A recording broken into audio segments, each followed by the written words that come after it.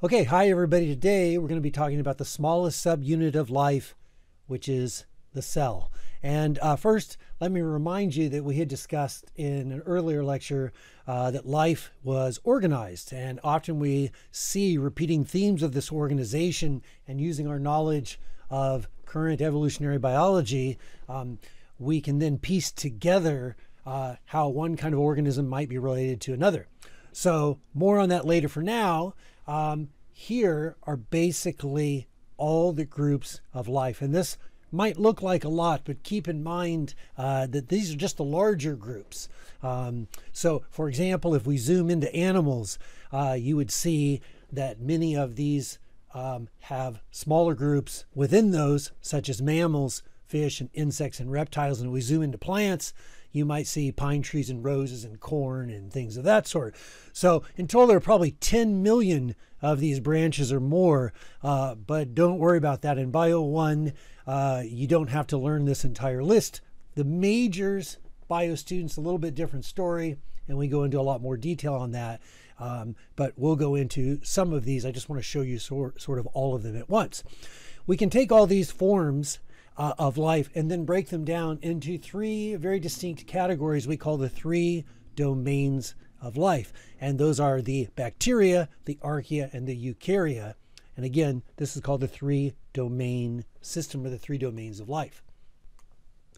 You might also recall that we talked a little bit about the cell theory that all living things are composed of cells, and you can break cells down into smaller parts, which we'll do today and talk about those. And those parts themselves uh, can be broken down, but the parts themselves do not meet the criteria of being alive. They have some of the components of being alive, but not all of them. So maybe they can reproduce, but they don't utilize energy, or maybe they utilize energy but can't evolve um, and can't change over time or response to stimuli, the parts that is. However, cells, the smallest subunit of life, are capable of doing all those criteria. So we'll talk about that more. So there are basically two types of cells in a living organism, um, and those are prokaryotic cells and eukaryotic cells. Prokaryotic cells are those that have no nucleus uh, and we'll talk about that a little bit more later. And a eukaryotic cell does have a nucleus. So, what's a nucleus? Well, a nucleus is an organelle that we often call the brain of the cell, and that's where the DNA or genetic code is. That's where your genes or genetic makeup are. They're inside the nucleus. And uh, where there's DNA, uh, then there's genetic code. Prokaryotic cells do have DNA and genetic code, um, but instead it's not enclosed in a special container. Um, instead, it's sort of floating around the middle of the cell, and we'll talk about that more as well.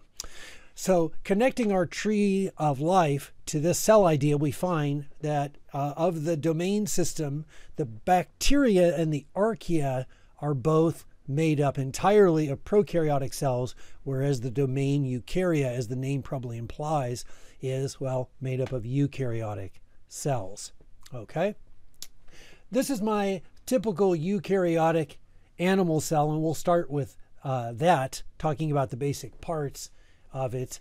Uh, and people and dogs and cats and birds and all of these and many more are types of animals. Uh, animal cells, being eukaryotic, have a nucleus, as we talked about before. They also have a plasma membrane, uh, which helps regulate what moves in and out of a cell. Um, and mitochondria, which are often called the powerhouse of the cell because they are able to convert the food we eat into a special form of chemical energy we'll talk about later on called ATP. There are other organelles in an animal cell that are important, but we're going to come back to those later because many of them are shared by what we see in plant cells. Next, we have another type of eukaryotic cell. So both plant cells and animal cells are both eukaryotic. So keep that in mind. That's something that for some reason people seem to miss. So like animal cells, plants also have a nucleus. They also have a cell membrane and they also have mitochondria. Um, they also have ribosomes. Ribosomes are found in both animal cells plant cells, and in fact, we'll find them in prokaryotic cells as well. They're a little bit different, but they do the same kind of function. And the ribosomes are used for building proteins. Um, but plants have some other important organelles uh, that we don't find uh, in animals. So, first, plants have this special organelle called a chloroplast.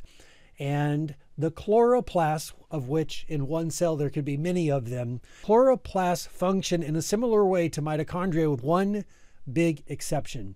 And that is the chloroplasts utilize energy from the sun and carbon dioxide, and they take the energy from the sun and the carbon dioxide molecules and they generate chemical energy by combining those two. And we'll talk about that more later on. And that is kind of a unique thing that plants do that you don't find in animals.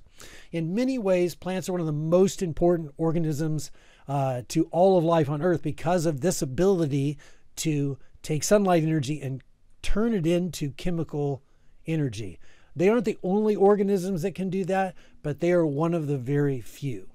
Plants also have a structure called a cell wall, and it is made out of a carbohydrate called cellulose, and it is outside or exterior to the cell membrane or the plasma membrane. The cell membrane and the plasma membrane are the same thing. However, the cell wall, which sounds kind of similar, is a distinctly different structure, and it helps plant cells maintain a strong structure um, depending on how water changes or how water moves in, in and out of the cell. Plants also contain a large central vacuole that's used for storing excess liquid, and this organelle is also not found in animals. Animals and, and some cells may have a kind of a smaller one, but not a very large central vacuole like you see in plants. All right, probably everyone is familiar with the basic eukaryotic organisms such as plants and animals. Fungi is another group that contains organisms such as mushrooms, um, so that is probably not hard either. But when we hit this group that we call protozoans, that becomes a little bit tricky. Protozoans are one of those things that we had a hard time classifying uh, over the many years in my uh, career as a student uh, and, and even teaching. So, in the last 10 years or so, I think they finally have come up with a very good conclusion on how to organize these, and that's what we'll show you here today. So, currently, they're organized so that there are actually many different groups of these things we call protozoan. Some are closely related to animals, some are closely related to plants, and so forth.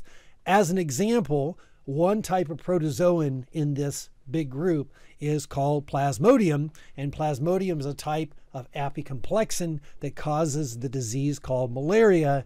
Uh, this is a blood disease transmitted by the bite of a mosquito, which kills uh, millions and millions of people each year, primarily in tropical regions of Africa, but also parts of Central and South America and other places as well. So that is one definitely that you need to know. You don't need to memorize all the different groups of protozoans. We're just a couple that we'll focus on that you come across. Plasmodium just happens to be one of those. Uh, relative to size, there's a couple things we could talk about here. If we look through our microscopes, by the way, we typically have in class um, what we call a binocular compound light microscope is what we generally use in class. So that's what you see in here in terms of what we call the light microscope right there. And you can see that with our microscopes, we can see things that are as small as about 100 nanometers uh, to uh, as large as maybe, you know, maybe three millimeters or so in that sort of range.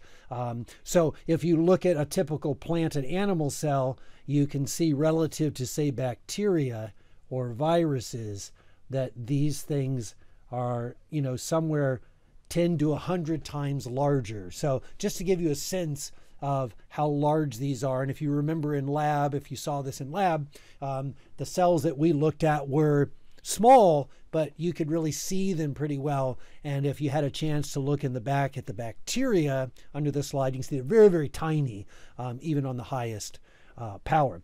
So we can see uh, that cells are small, and that's probably not a big surprise, but looking at the animal cell and plant cell, you can see they are much larger than they are bacteria, and in fact, bacteria about the same size as the organelles, such as the mitochondria found in your typical eukaryotic cell.